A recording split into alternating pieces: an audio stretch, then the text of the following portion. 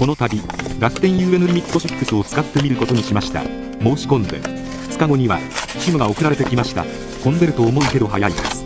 厚紙の封筒に SIM が入ってます。受け取るときに、免許証で本人確認をしました。これが SIM ですね。スタートガイドもついてるので安心です。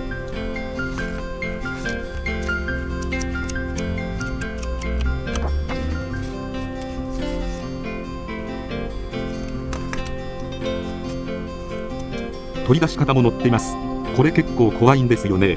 SIM は今まで4枚ぐらい使っていて、外す際に破損した経験はないですけど、ナノサイズで申し込みましたが、見てたらサイズが合ってるのか不安になってきました。すでに入っている SIM を取り出して確かめてみよう。はめた。この SIM は生きがいい。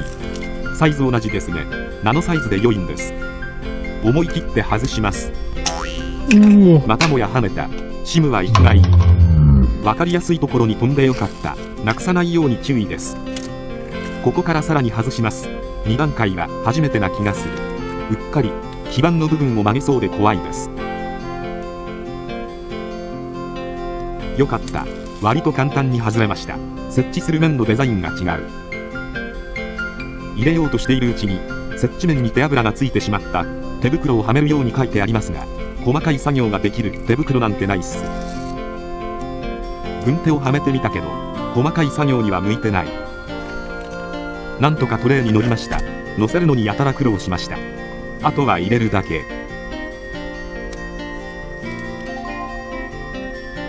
入れただけじゃ SIM は認識されないようです。スタートガイドを読みます。QR コードで進めよう。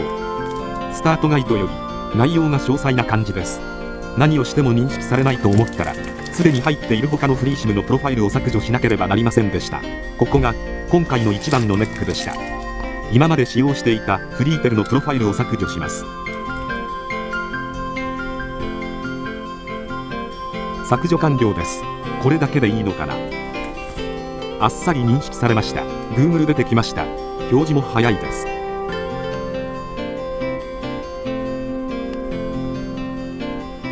YouTube 見てみます。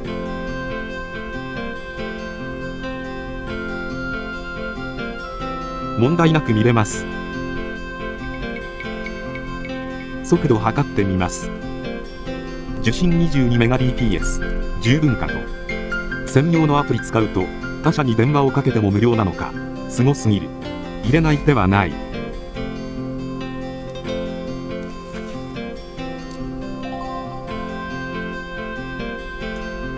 続いて契約状況のわかるマイ楽天モバイルを入れます。試しに Wi-Fi 使わず楽天モバイルでダウンロードしてみます。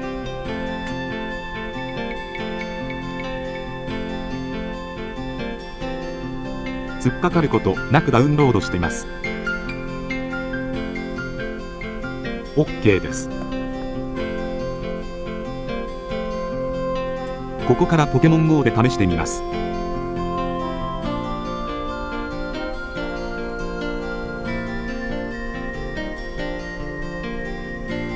ロケット弾とのバトルも普通にできます。フレンドもストレスなく読み込めます。というわけで外でポケボーのイベントしてきました。郊外だからかアンテナがフルな状態になる時が少なかったのが気になりますが特に問題なく遊べました。今後使う人が増えて回線状況がどうなるか分かりませんが今なら1年無料ですし1年過ぎても1ギガまで無料だし悪くないと思いました。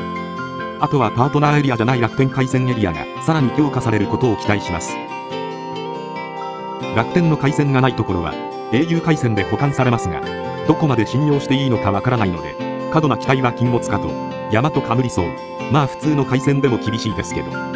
基本都市部で使う感じかな。もちろんどこでも使えることに越したことはないので今後の発展に期待します。頼むぞ。楽天。思考が楽天では困ります。2月24日まで私の楽天モバイル ID を打ち込むと1000ポイントもらえるキャンペーンもあるのでもし申し込むようなことがあったらよろしくお願いします。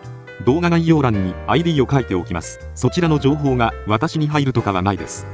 うさんくさいですがお互い悪くない感じです。1人5人までのようなので、ないとは思いますが、すでにいっぱいだったらごめんなさい。ちなみに、申し込みの最後の方に ID を入力する場所がありました。というわけで、楽天 UN リミット6を使ってみた動画でした。こんなうまい話があるのかと、未だに疑ってますが、今のところ悪くないです。何か欠点があったら即動画にする構えです。